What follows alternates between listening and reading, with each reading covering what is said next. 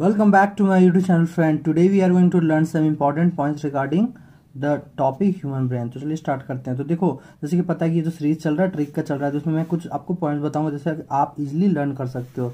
तो इससे पहले एक सेंटेंस um, देखते हैं कि क्या लिखा हुआ है एनसीईआरटी में। ये सारा एनसीईआरटी का है आपको क्लास इलेवन के न्यूरल कंट्रोल एंड कोऑर्डिनेशन में मिल जाएगा। तो human brain is well protected by the skull आपको पता है हमें पता है कि ये प्रोटेक्टेड होता है किससे? बाहर में skull human brain is well protected by skull अब जो इनसाइड द स्कल स्कल के अंदर the brain is covered by cranial meninges important है एनसीआरटी में उसको याद रखना। अब इसका तीन पार्ट पार्ट होता है, तीन लेयर होता है। तो लेयर को हम याद करेंगे इनर से आउटर तक की ओर चलेंगे। सबसे पहले इनर याद रखेंगे, ये याद रखना इनर से आउटर याद रखना। तो कैसे रहना P A D pad pad करके याद रखना है। क्रिकेटर पैड पहनते हैं। ठीक है तो ऐसे याद कर सकते हो P A D pad P for pia matter A for arachnoid D for dura matter complete हो गया? तो कैसे याद रखना? इनर टू आउटर सबसे पहले इनर लेयर कौन होगा? पिया मैटर एरेक्नॉइड और ड्यूरा मैटर कंप्लीट याद हो गया? अब देखो brain can be divide into three major part आपको पता है fore brain mid brain hind brain अगर किसी को प्रॉब्लम होता है, याद करना तो एफ़ एम एच याद रखना।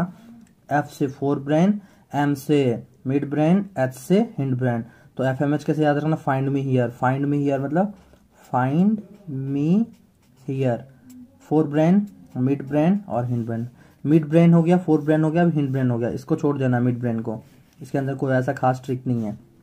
Fore brain forebrain consist of कौन कौन सा इसमें अब इसके अंदर कौन कौन से पार्ट्स आएँगे फोर ब्रेन में। तो forebrain consist of hypothalamus thalamus cerebrum sorry and hindbrain consist of pons cerebellum medulla इसी को मेडुला ऑब्लोंगाटा भी बोलते हैं। तो कैसे आपको याद रखना है?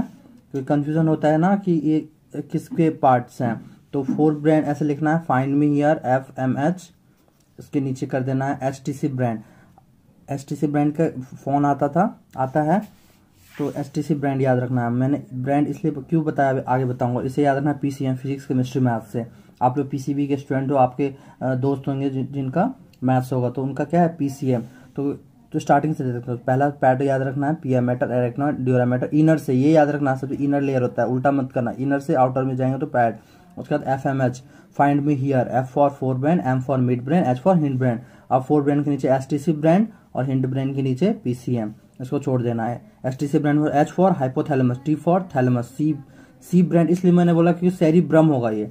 बी आर में ब्रांड में बी आर आता है और ब्रम में भी बी आर आएगा, इसलिए, क्योंकि यहाँ सी से सैरीबेलम भी आएगा। तो कैसे याद रखना? S T C brand S T C brand H T C C for cerebrum B R cerebrum B are ये देखना बी आर कॉमन है, इसलिए मैंने बताया। एस टी सी ब्रांड में बी आर कॉमन है सैरी ब्रम में B R common इसलिए एस टी सी ब्रांड करके याद रखना। क्योंकि अगर एस टी सी याद रखते तो सी से सैरीबेलम भी होता है सी से सैरीब्रम भी होता। है तो कन्फ्यूज़न हो जाएगा ना? तो hypothalamus thalamus cerebrum B R B R common अब देखो P C M hindbrain का पार्ट है पॉन्स, सेरिबेलम, मेडुला ऑब्लेंगेटा ठीक है? अब मिड ब्रेन में चलते हैं। तो मिड ब्रेन में ऐसा कुछ खास है नहीं। मिड ब्रेन में एनसीआरटी में दिया हुआ है। देखो क्या दिया है। कि the midbrain is located between the thalamus, hypothalamus, thalamus या फिर hypothalamus of the forebrain and pons of the hindbrain. तो कंफ्यूजन होता था ना, क्या याद रखना? फाइंड मी हियर हियर में क्या लिखना था आपको? हियर में क्या लिखना था?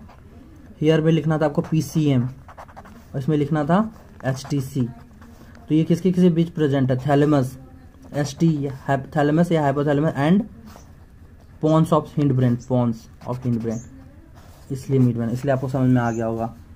एफ़ एम एच एफ़ का part S T C brand और एच का पार्ट पी सी एम अब एक और वर्ड है कि सेरेबल एक्वाडक्ट ये इसके रिलेटेड है।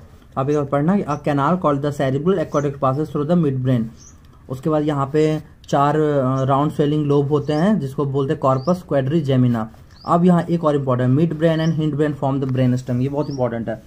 ब्रेन स्टेम को क्या क्या मिलकर बनाता है? ये क्वेश्चन आ सकता है। बहुत इंपॉर्टेंट है। ब्रेन स्टेम कौन कौन से मिलकर पार्ट बन के बनाता है? तो आपको मिड ब्रेन और हिंड ब्रेन याद रखना है स्टेम बहुत कंफ्यूजन होता है क्योंकि कभी फोर ब्रेन याद आ जाए, कभी क्योंकि आपको क्लियर होना चाहिए। तो आप कैसे याद करोगे? एस एच एम आपके इलेवन में। फिजिक्स में चैप्टर है simple harmonic motion S H M simple harmonic motion याद रखोगे। क्या याद रखोगे? S H M S H M simple harmonic motion simple harmonic motion S for stem stem मतलब ब्रेन स्टेम ब्रेन स्टेम कौन कौन सा मिलकर बनाता है? एच फॉर हिंड ब्रेन और M for mid brain S H M simple harmonic motion S for stem brain stem कौन कौन बनाता है? एज फॉर हिंड ब्रेन और मिड ब्रेन यहाँ पे देखो लिखा हुआ है। Mid brain and hind brain form the brain stem ये बहुत इंपॉर्टेंट जो एनसीआरटी में दिया और आप लोगों को पता है कि जो एनसीआरटी में दिया हुआ रहता है, वो नीट के लिए कितना इंपॉर्टेंट होता है। ठीक है?